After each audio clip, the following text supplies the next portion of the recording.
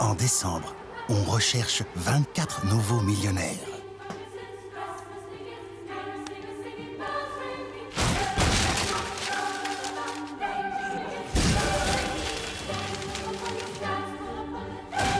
Avec le nouveau billet millionnaire de la loterie romande, chaque jour, un million à gagner.